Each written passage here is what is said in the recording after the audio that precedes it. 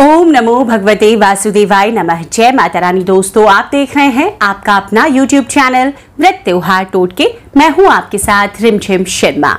दोस्तों, आज अधिक मास की पूर्णिमा है और पूर्णिमा की तिथि, जैसा हम सभी जानते हैं, भगवान श्री हरि विष्णु की प्रिय तिथि है। आज के दिन अगर हम माता लक्ष्मी के निमित्त कुछ उपाय करते हैं, भगवान श्री हरि विष्णु के निमित्त कुछ उपाय करते हैं, दोस्तों, यकीन मानिए, आपकी जो भी इच्छा है, जिस भी कामना से आप इन उपायों को अपनाते हैं, आपकी वो इच्छा ज़रूर पूर्ण होती है। तो आज अधिक मास की पूर्णिमा, जो कि, जिसे हम पुरुषोत्तम मास के नाम से जानते हैं और जो कि भगवान श्री विष्णु का प्रिय मास है। आज उनको प्रसन्न करने के लिए अगर एक उपाय आप करते हैं, इस दीपक के उपाय से ही आपकी जो भी इच्छा, जो भी कामना है, वो ज़रूर पूर्ण होती है। तो आज अधिक मास की पूर्णिमा के दिन आपको किन किन जगहों पर दीपक ज़रूर लगाना चाहिए, जिससे आपकी कोई कामना पूर्ण होती है, वो अब आप ध्यान से सुने। दोस्तों, अधिक मास की पूर्णिमा के दिन। जैसा कि हर मास की पूर्णिमा पर हम भगवान श्री हरि विष्णु की पूजा आराधना करते हैं। आज के दिन भी आप करेंगे और आज जो पहला दीपक है, वो भगवान श्री हरि विष्णु के नाम से आप घर में पूजन करते हैं। तो घर में या आप मंदिर में जाकर पूजा करते हैं आज की विशेष तो मंदिर में ज़रूर लगाएँ। कोशिश करें कि जो दीपक आप लगाएँ, वो शुद्ध घी का ही दीपक हो।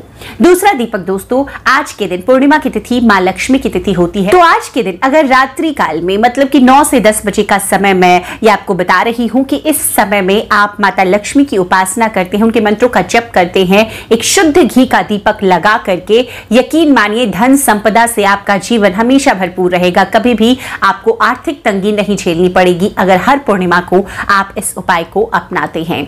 आज के दिन तीसरा दीपक दोस्तों आपको लगाना है पीपल वृक्ष के नीचे। आप सुबह जाते हैं, जल अर्पित करने के लिए उस समय भी एक दीपक लगाएँ और आप शाम के समय तो ज़रूर कर पीपल वृक्ष में आज एक दीपक लगाएँ। शाम की पूजा में आपको एक दीपक पीपल वृक्ष में ज़रूर लगाना चाहिए। शाम की पूजा ही पीपल वृक्ष की यही होती है। वहाँ पर जाकर के दीपदान करना होता है। तो अधिक मास में मैंने पहले भी दीपदान पर विस्तृतता से एक वीडियो आपके साथ शेयर किया हुआ है। अब जितना ज़्यादा से ज़्यादा दीपदान करते हैं देवताओं के निमित्त, उतना ज़्यादा पुण्य फलों की प्राप्ति होती है। और आज तो पूर्णिमा की तिथि है तो पीपल वृक्ष में आपको एक दीपक ज़रूर संध्या काल में लगाना है।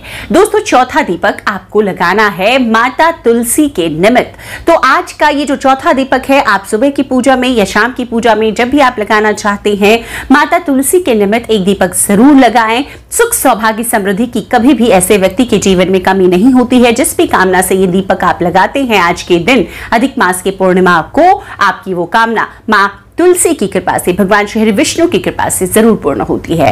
और दोस्तों, पांचवा दीपक आज आपको लगाना है किसी भी शिवालय में। शिव मंदिर में जाएँ और पांचवा दीपक भगवान महादेव के निमित्त आपको लगाना चाहिए। श्रावण मास की ये पूर्णिमा है, अधिक मास श्रावण मास में लग रहा है दोस्तों। तो आज के दिन अगर आप भोलेनाथ के निमित्त दीपक लगाते हैं, यकीन मानिए कैसी से कैसी इच्छा भी आपकी क्यों ना हो, जो अब तक पूर्ण ना हुई हो, आज के दिन एक दीपक मात्र लगाने से आपकी वो इच्छा भोलेनाथ की कृपा से पूर्ण हो जाती है। तो ये पाँच दीपक है जो आज अधिक मास की पूर्णिमा के दिन आपको ज़रूर लगाना है।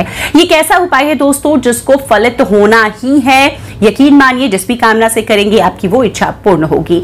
चैनल पर पहली बार आए हैं, इस तरह की जानकारियाँ आपको भी पसंद आती है तो चैनल को सब्सक्राइब कर लीजिए। वीडियो अगर पसंद आया है तो आगे ज़्यादा से ज़्यादा लोगों तक शेयर भी ज़रूर कीजिएगा।